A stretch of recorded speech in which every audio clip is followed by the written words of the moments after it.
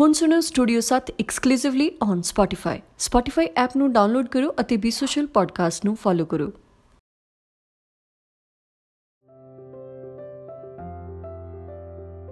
ਤੁਸੀਂ ਸੁਣ ਰਹੇ ਹੋ ਬੀ ਸੋਸ਼ਲ ਪੋਡਕਾਸਟ ਦੀ ਪੇਸ਼ਕਸ਼ ਸਟੂਡੀਓ 7 ਅੱਜ ਦੇ ਸਟੂਡੀਓ 7 ਵਿੱਚ ਤੁਸੀਂ ਸੁਣਨ ਜਾ ਰਹੇ ਹੋ ਸਰਬਜੀਤ ਸਿੰਘ ਸਿੱਧੂ ਹੋਰਾਂ ਦੀ ਆਵਾਜ਼ ਵਿੱਚ, ਸੰਤ ਸਿੰਘ ਸੇਖੋ ਹੋਰਾਂ ਦੀ ਲਿਖੀ ਕਹਾਣੀ, ਪੇਮੀ ਦੇ ਨਿਆਣੇ।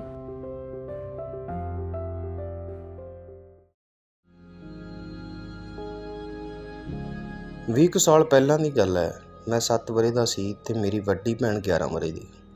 ਸਾਡਾ ਖੇਤ ਘਰੋਂ ਮੀਲ ਕੁ ਦੀ ਵਿੱਥ ਤੇ ਸੀ। ਅੱਧ ਵਿਚਕਾਰ ਇੱਕ ਜਰਨੈਲੀ ਸੜਕ ਲੰਘਦੀ ਸੀ, ਜਿਸ ਵਿੱਚੋਂ ਜਾਂਗਲੀ, ਪਠਾਣਾ, ਰਾਸ਼ਿਆਂ ਤੇ ਹੋਰ ਪ੍ਰਦੇਸੀਆਂ ਦਾ ਕਾਫੀ ਲਾਂਘਾ ਸੀ। ਅਸੀਂ ਸਭ ਨਿਆਣੇ ਜਿਨ੍ਹਾਂ ਨੂੰ ਰਾਸ਼ਿਆਂ ਤੋਂ ਘਰ ਬੈਠਿਆਂ ਵੀ ਡਰ ਆਉਂਦਾ ਸੀ, ਇਸ ਸੜਕ ਵਿੱਚੋਂ ਦੀ ਕਿਸੇ ਸਿਆਣੇ ਤੋਂ ਬਗੈਰ ਲੰਘਣ ਤੋਂ ਬਹੁਤ ਭੈ ਖਾਂਦੇ ਸਾਂ। ਪਰ ਟੰਟਾ ਇਹ ਸੀ ਕਿ ਦਿਨੇ ਇੱਕ ਦੋ ਵੇਲੇ ਸਾਨੂੰ ਖੇਤ ਬਾਪੂ ਤੇ ਕਾਮੇ ਦੀ ਰੋਟੀ ਫੜਾਉਣ ਜ਼ਰੂਰ ਜਾਣਾ ਪੈਂਦਾ ਸੀ ਤੇ ਸਾਡੀ ਅਵਸਥਾ ਹਰ ਰੋਜ਼ ਇੱਕ ਮੁਸ਼ਕਲ ਘਾਟੀ ਲੰਘਣ ਵਾਲੀ ਹੁੰਦੀ ਸੀ। ਅਸੀਂ ਆਮ ਤੌਰ ਤੇ ਘਰੋਂ ਦਾ ਹੌਸਲਾ ਕਰਕੇ ਇਕੱਲੇ ਹੀ ਤੁਰ ਪੈਂਦੇ, ਪਰ ਜਦੋਂ ਸੜਕ ਦੋ ਤਿੰਨ ਘੁਮਾਂ ਦੀ ਵਿੱਥ ਉੱਤੇ ਰਹਿ ਜਾਂਦੀ ਤਾਂ ਨਹਿਰ ਸੂਆ ਟੱਪਣ ਲੱਗੇ ਪਠੋਰਿਆਂ ਵਾਂਗ ਖਲੋ ਕੇ ਆਸੇ-ਪਾਸੇ ਤੱਕਣ ਲੱਗ ਜਾਂਦੇ। ਤਾਂ ਜੋ ਕਿਸੇ ਪਿੰਡੋਂ ਆਉਂਦੇ ਜਾਂਦੇ ਸਿਆਣੇ ਦੀ ਸ਼ਰਨ ਲੈ ਕੇ ਇਸ ਭੈ ਸਾਗਰ ਨੂੰ ਤਰਨ ਜੋਗੇ ਹੋ ਜਾਈਏ। ਸਾਡੀ ਮਜਬੀ ਤਬੀਅਤ ਵੀ ਕੁਝ ਇਸ ਕਿਸਮ ਦੀ ਸੀ ਕਿ ਅਜਿਹੇ ਡਰ ਸਾਡੇ ਸੁਭਾਵਾਂ ਦਾ ਹਿੱਸਾ ਬਣ ਗਏ ਸਨ। ਅਸੀਂ ਘਰ ਸਿਆਣਿਆਂ ਕੋਲੋਂ ਨਰਕ ਸਵਰਗ ਦੀਆਂ ਕਹਾਣੀਆਂ ਹਰ ਰੋਜ਼ ਸ਼ਾਮ ਨੂੰ ਸੁਣਦੇ ਸਾਂ। ਸਵਰਗ ਤਾਂ ਸਾਨੂੰ ਖੇਡ ਤੋਂ ਬਾਹਰ ਕਿਤੇ ਘੱਟ ਹੀ ਪ੍ਰਾਪਤ ਹੁੰਦਾ ਸੀ, ਪਰ ਨਰਕ ਦੇ ਹਰ ਥਾਂ ਖੁੱਲੇ ਗੱਫੇ ਮਿਲਦੇ। ਸਭ ਤੋਂ ਵੱਡਾ ਨਰਕ ਮਦਰਸਾ ਸੀ ਤੇ ਉਸ ਤੋਂ ਕਿਸੇ ਦਿਨ ਛੁੱਟੀ ਜਾਂਦੇ ਤਾਂ ਖੇਤ ਰੋਟੀ ਦੇਣ ਜਾਣ ਦਾ ਨਰਕ ਪੇਸ਼ ਆ ਜਾਂਦਾ। ਗੱਲ ਕੀ ਸਾਡੇ ਬਾਣੇ ਰਾਹ ਦੇ ਹਰ ਇੱਕ ਮੋੜ ਤੇ ਜਾਣੋ ਨਰਕ ਘਾਤ ਲਾਈ ਖਲੋਤੇ ਹੁੰਦੇ। ਖਬਰੇ ਇਸ ਸੜਕ ਦਾ ਭੈ ਸਾਗਰ ਲੰਘਣ ਕਰਕੇ ਸਾਨੂੰ ਖੇਤ ਜਾਣਾ ਨਰਕ ਲੱਗਦਾ ਸੀ। ਜਾਂ ਖੇਤ ਰੋਟੀ ਲੈ ਜਾਣ ਲੱਗੇ, ਇਸ ਸੜਕ ਨੂੰ ਲੰਘਣਾ ਸਾਨੂੰ ਭੈ ਸਾਗਰ ਦਿਖਾਈ ਦਿੰਦਾ ਸੀ। ਮੈਂ ਇਸ ਦੀ ਬਾਬਤ ਯਕੀਨ ਨਾਲ ਕੁਝ ਨਹੀਂ ਕਹਿ ਸਕਦਾ। ਇਹ ਮੈਨੂੰ ਪਤਾ ਹੈ ਕਿ ਖੇਤ ਸਵਰਗ ਸੀ ਤੇ ਖੇਤ ਰੋਟੀ ਲੈ ਜਾਣ ਦੀ ਖੇਚਲ ਨਰਕ ਅਤੇ ਉਸ ਜਰਨੈਲੀ ਸੜਕ ਵਿਚਕਾਰਲਾ ਭੈ ਸਾਗਰ, ਸਿਆਲ ਦੇ ਦਿਨ ਸਨ। ਅਸੀਂ ਦੋਵੇਂ ਭੈਣ ਭਰਾ ਦੁਪਹਿਰ ਦੀ ਰੋਟੀ ਲੈ ਕੇ ਖੇਤ ਨੂੰ ਚੱਲ ਪਏ। ਨਿੱਗੀ ਨਿੱਗੀ ਧੁੱਪ ਪੈ ਰਹੀ ਸੀ ਅਤੇ ਅਸੀਂ ਟੁਰੇ ਜਾਂਦੇ ਵੀ ਸਿਆਲ ਦੀ ਧੁੱਪ ਦੀ ਨੀਂਦ ਦਾ ਨਿੱਘ ਲੈ ਰਹੇ ਸਾਂ। ਪਰ ਦਿਲ ਵਿੱਚ ਸੜਕ ਲੰਘਣ ਦਾ ਡਰ ਚੂਹੇ ਵਾਂਗ ਕੁਤਰ ਰਿਹਾ ਸੀ। ਅਸੀਂ ਡਰ ਨੂੰ ਦਬਾਉਣ ਦਾ ਇੱਕ ਆਮ ਤਰੀਕਾ ਵਰਤਣਾ ਚਾਹਿਆ। ਭੈਣ ਮੈਨੂੰ ਇੱਕ ਕਹਾਣੀ ਸੁਣਾਉਣ ਲੱਗ ਪਈ। ਇੱਕ ਸੀ ਰਾਜਾ, ਉਹਦੀ ਰਾਣੀ ਮਰ ਗਈ। ਮਰਨ ਲੱਗੀ ਰਾਣੀ ਨੇ ਰਾਜੇ ਨੂੰ ਕਿਹਾ, ਤੂੰ ਮੈਨੂੰ ਇੱਕ ਕਰਾਰ ਦੇ। ਰਾਜੇ ਨੇ ਪੁੱਛਿਆ, ਕੀ? ਮੈਂ ਕਹਾਣੀ ਵੱਲੋਂ ਧਿਆਨ ਮੋੜ ਕੇ ਪਛਾਂ ਪਿੰਡ ਵੱਲ ਨੂੰ ਵੇਖਿਆ। ਕਿ ਕਿਤੇ ਕੋਈ ਆਦਮੀ ਸਾਡੇ ਰਾਹ ਜਾਣ ਵਾਲਾ ਆ ਰਿਹਾ ਹੋਵੇ। ਤੂੰ ਸੁਣਦਾ ਨਹੀਂ ਵੀਰ? ਭੈਣ ਨੇ ਮੇਰੇ ਮੋਢੇ ਨੂੰ ਹਲੂਣ ਕੇ ਆਖਿਆ। ਨਹੀਂ, ਮੈਂ ਸੁਣਦਾ। ਮੈਂ ਭਰਾਵਾਂ ਵਾਲੀ ਗੁਸਤਾਖੀ ਨਾਲ ਜਵਾਬ ਦਿੱਤਾ।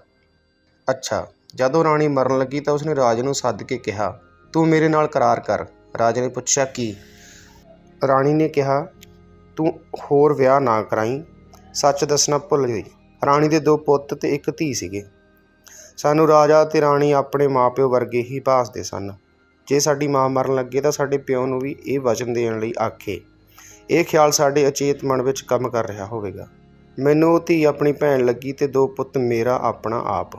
ਮੇਰੀ ਭੈਣ ਪਿੰਡ ਵੱਲ ਦੇਖ ਰਹੀ ਸੀ। ਸੁਣਾ ਵੀ ਗਾਹਾਂ ਮੈਂ ਉਸ ਨੂੰ ਪਹਿਲੀ ਤਰ੍ਹਾਂ ਖਰਵੇ ਬੋਲ ਨਾਲ ਆਖਿਆ।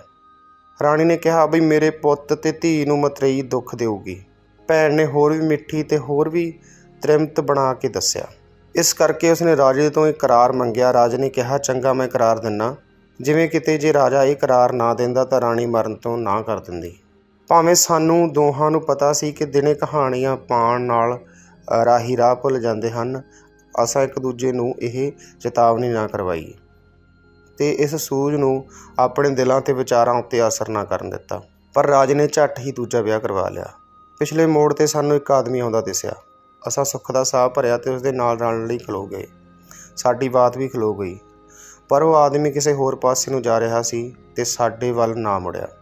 ਇਸ ਮੰਤਵ ਨੂੰ ਪੂਰਾ ਕਰਨ ਲਈ ਅਸਾਂ ਇਹ ਬਾਤ ਦਾ ਪਖੰਡ ਰਚਿਆ ਸੀ, ਉਹ ਪੂਰਾ ਨਾ ਹੋ ਸਕਿਆ। ਸਾਡਾ ਖਿਆਲ ਸੀ ਬਾਤ ਦੇ ਰਚੇਵੇਂ ਵਿੱਚ ਅਚੇਤ ਹੀ ਸੜਕ ਪਾਰ ਹੋ ਜਾਵੇਗੀ। ਪਰ ਹੁਣ ਜਦ ਸੜਕ ਥੋੜੀ ਕੁ ਦੂਰ ਰਹਿ ਗਈ, ਤਾਂ ਸਾਡੀ ਕਹਾਣੀ ਵੀ ਠਠੰਬਰ ਕੇ ਖਲੋ ਗਈ। ਤੇ ਕਿਸੇ ਸਿਆਣੇ ਸਾਥੀ ਦੇ ਆ ਰਲਣ ਦੀ ਵੀ ਆਸ ਟੁੱਟ ਗਈ। ਅਸੀਂ ਦੋਵੇਂ ਸਹਿਮ ਕੇ ਖਲੋ ਗਏ। 10 ਕਦਮ ਹੋਰ ਪੁੱਟੇ ਤਾਂ ਸਾਡਾ ਡਰ ਹੋਰ ਵੱਧ ਗਿਆ। ਸੜਕ ਵਿੱਚ ਇੱਕ ਪਾਸੇ ਇੱਕ ਕਾਲੇ ਸੂਟ ਦੀ ਬਾਸਕਟ ਤੇ ਪਠਾਣਾ ਵਾਲੀ ਖੁੱਲੀ ਸਲਵਾਰ ਵਾਲਾ ਆਦਮੀ ਲੰਮਾ ਪਿਆ ਸੀ।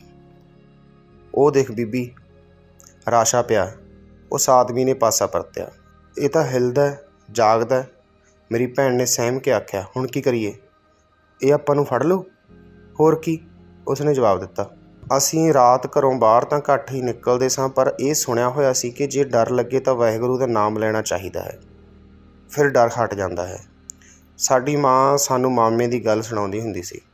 ਇੱਕ ਵਾਰੀ ਸਾਡਾ ਮਾਮਾ ਤੇ ਇੱਕ ਬ੍ਰਾਹਮਣ ਕਿਤੇ ਰਾਤ ਨੂੰ ਕਿਸੇ ਪਿੰਡ ਦੇ ਸਿਵਿਆਂ ਵਿੱਚ ਲੰਘ ਰਹੇ ਸੀ ਕਿ ਉਹਨਾਂ ਦੇ ਪੈਰਾਂ ਵਿੱਚ ਵੱਡੇ ਵੱਡੇ ਦਗਦੇ ਅੰਗਿਆਰ ਡਿੱਗਣ ਲੱਗ ਪਏ। ਬ੍ਰਾਹਮਣ ਨੇ ਸਾਡੇ ਮਾਮੇ ਨੂੰ ਪੁੱਛਿਆ, ਕੀ ਕਰੀਏ? ਉਸਨੇ ਕਿਹਾ, ਪੰਡਤ ਜੀ, ਰੱਬ ਰੱਬ ਕਰੋ। ਸਾਡਾ ਮਾਮਾ ਵਹਿਗੁਰੂ ਵਹਿਗੁਰੂ ਕਰਨ ਲੱਗ ਪਿਆ ਪੰਡਤ ਰਾਮ ਰਾਮ। ਅੰਗਿਆਰ ਡਿੱਗਦੇ ਤਾਂ ਰਹੇ, ਪਰ ਉਹਨਾਂ ਤੋਂ ਦੂਰ। ਸਾਨੂੰ ਇਸ ਗੱਲ ਕਰਕੇ ਆਪਣੇ ਮਾਮੇ ਉੱਤੇ ਬੜਾ ਮਾਣ ਸੀ। ਆਪਾਂ ਵਹਿਗੁਰੂ ਵਹਿਗੁਰੂ ਕਰੀਏ, ਮੈਂ ਦੱਸਿਆ। ਵਹਿਗਰੂ ਤੋਂ ਭੂਤ ਪ੍ਰੇਤ ਹੀ ਡਰਦੇ ਨੇ। ਆਦਮੀ ਨਹੀਂ ਡਰਦੇ, ਮੇਰੀ ਭੈਣ ਨੇ ਕਿਹਾ। ਮੈਂ ਮੰਨ ਗਿਆ। ਸੜਕ ਵਿੱਚ ਪਿਆ ਰਾਸ਼ਾ ਤਾਂ ਆਦਮੀ ਸੀ, ਉਹ ਰੱਬ ਤੋਂ ਕਦ ਡਰਨ ਲੱਗਾ ਸੀ? ਤਾਂ ਫਿਰ ਕੀ ਕਰੀਏ? ਅਸੀਂ 5-7 ਮਿੰਟ ਸਹਿਮ ਕੇ ਖਲੋਤੇ ਰਹੇ। ਹਾਲੇ ਵੀ ਸਾਨੂੰ ਆਸ ਸੀ ਕਿ ਕੋਈ ਆਦਮੀ ਇਸ ਰਾਸ਼ੇ ਆਦਮੀ ਨੂੰ ਡਰਾਉਣ ਵਾਲਾ ਸਾਡੇ ਨਾਲ ਆ ਮਿਲੇਗਾ। ਪਰ ਇਹ ਆਸ ਪੂਰੀ ਨਾ ਹੁੰਦੀ ਦੀ ਸੀ। ਅਸੀਂ ਇੱਕ ਦੂਜੇ ਦੇ ਮੂੰਹ ਵੱਲ ਤੱਕਦੇ ਰਹੇ। ਪਰ ਮੈਨੂੰ ਯਾਦ ਹੈ ਕਿ ਅਸੀਂ ਉਸ ਵੇਲੇ ਇੱਕ ਦੂਜੇ ਦੇ ਚਿਹਰਿਆਂ ਵਿੱਚ ਕੁਝ ਲੱਭ ਨਹੀਂ ਸੰ ਸਕਦੇ। ਸਾਡਾ ਭਰਪਣ, ਸਾਡੀ ਏਕਤਾ ਬੇਕਾਰ ਹੋਏ ਖਲੋਤੇ ਸਨ। ਕੁਝ ਮਿੰਟਾਂ ਤੱਕ ਮੇਰਾ ਰੋਣ ਨਿਕਲ ਗਿਆ। ਮੇਰੀ ਭੈਣ ਨੇ ਪੱਲੇ ਨਾਲ ਮੇਰੇ ਅਥਰੂ ਪੂੰਝਦੇ ਆਖਿਆ, ਨਾ ਵੀਰ, ਰੋਂਦਾ ਕਿਉਂ ਹੈ? ਆਪਾਂ ਇੱਥੇ ਖੜੋਨੇ ਆ। ਹੁਣੇ ਪਿੰਡੋਂ ਕੋਈ ਆ ਜਾਓ। ਮੈਂ ਚੁੱਪ ਕਰ ਗਿਆ। ਅਸਾਂ ਕੁਝ ਕਦਮ ਸੜਕ ਵੱਲ ਪੁੱਟੇ, ਪਰ ਖਲੋ ਗਏ ਤੇ ਫਿਰ ਉਹੀ ਪੰਜ ਕਦਮ ਮੁੜ ਆਏ।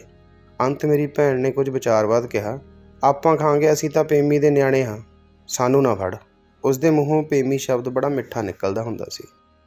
ਹੁਣ ਜਦੋਂ ਮੇਰੇ ਵੱਲ ਝੁੱਕ ਕੇ ਮੈਨੂੰ ਤੇ ਆਪਣੇ ਆਪ ਨੂੰ ਦਿਲਾਸਾ ਦੇ ਰਹੀ ਸੀ, ਉਹ ਖੁਦ ਪੇਮੀ ਬਣੀ ਹੋਈ ਸੀ। ਮੇਰੇ ਦਿਲ ਨੂੰ ਢਾਰਸ ਵੱਜ ਗਈ। ਤਾਸ਼ ਨੂੰ ਜਦ ਪਤਾ ਲੱਗੇਗਾ ਕਿ ਅਸੀਂ ਪੇਮੀ ਦੇ ਨਿਆਣੇ ਹਾਂ ਤਾਂ ਉਹ ਸਾਨੂੰ ਕੁਝ ਨਹੀਂ ਆਖੇਗਾ, ਨਹੀਂ ਫੜੇਗਾ।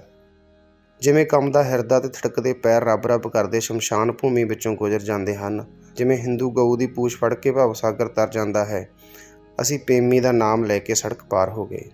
ਰਾਸ਼ਾ ਉਸੇ ਤਰ੍ਹਾਂ ਉੱਥੇ ਹੀ ਪਿਆ ਰਿਹਾ।